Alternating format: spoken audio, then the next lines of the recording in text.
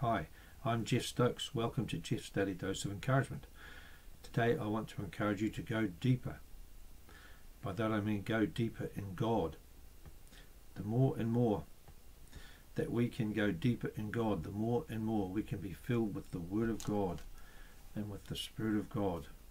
The more and more God will reveal to us, and the less and less that the things of this world and the things of the enemy can cling onto us.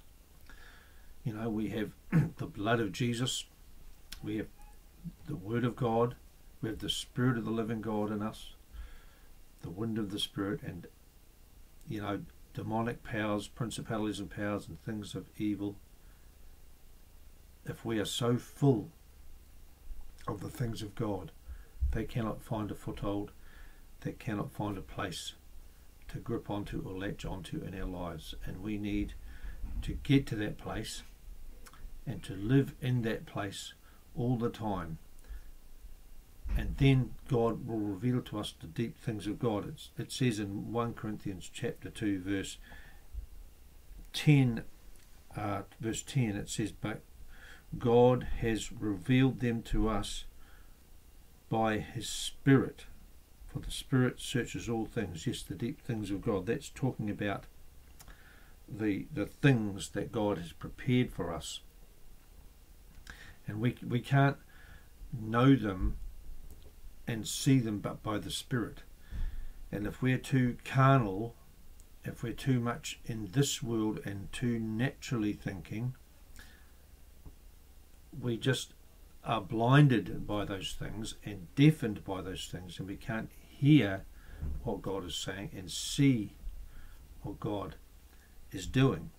So, my encouragement for you today is to just go deeper. If you want to experience more of God, if you want to experience success in the in the Christian life, just go so deep and be so sold out for Jesus that you don't care what anyone else thinks. You know, in the privacy of your own home, you can keep building yourself up so strong. No one has, no one else has to know what you're doing. You can just do it privately, but I can tell you that it will manifest itself publicly.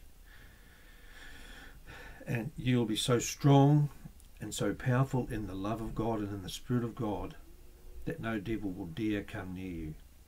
If you want to have that sort of assurance and boldness and power of God in your life and that love in your life, if you confess with your mouth the Lord Jesus and believe in your heart that God raised him from the dead, you will be saved and you can begin that journey of building yourself up into a mighty, powerful man or woman of God who doesn't have a care in the world because all evil all evil will just shun you and it cannot come near you.